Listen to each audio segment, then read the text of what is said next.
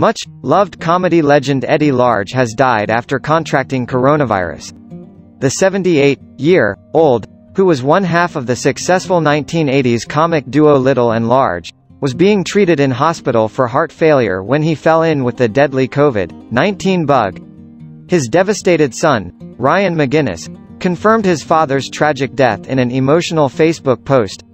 Heartbreakingly, the father, of three died alone and without his family around him because of the strict rules in place to prevent the spread of the virus.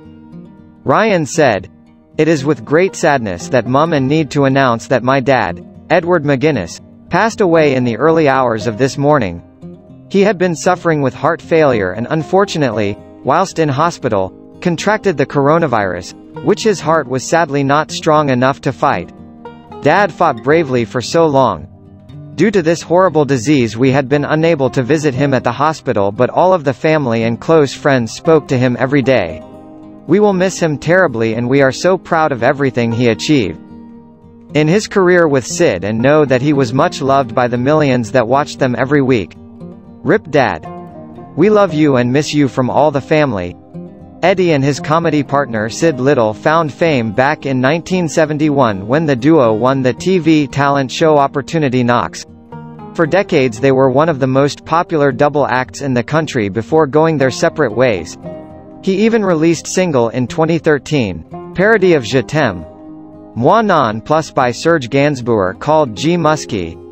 Moi non plus in. His later years, Eddie had suffered from raft of health problems, although had continued to appear on screen with roles in Blackpool and The Brief.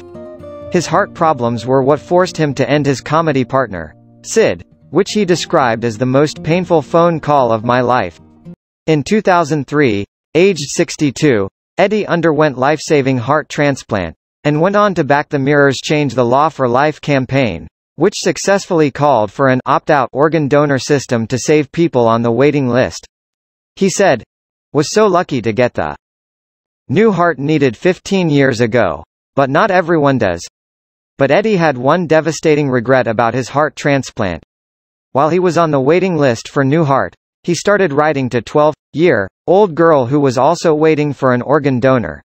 The pair struck up an adorable friendship, with Eddie doing all he could to keep the youngster's spirits up.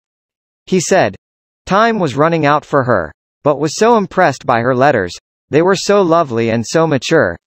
They were probably far more mature than mine, just bombarded her with jokes thought 12 year old might find funny.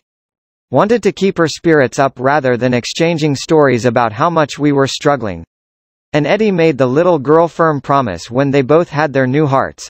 He would take her out for curry. He said. She was delighted. But she said. I have to warn you. Don't like them too spicy. That made me smile. After wrote to her couple of times got the phone call had been waiting for, they had new heart for me. And was rushed into hospital for the transplant. A couple of weeks after my transplant, before I'd even left hospital, got the most awful news. So few children die that there simply aren't enough suitable organs available. That little girl had been waiting too long and her time ran out. The doctors did the best they could. They were so desperate they tried to piggy back five-year-old's heart onto hers, but it didn't work. I was devastated when heard she had died. I'd already had good innings by the time needed transplant, but her life was just beginning. She was such great little girl. It was so unfair. Eddie became passionate supporter of an opt-out organ donor register and campaign for it to become reality.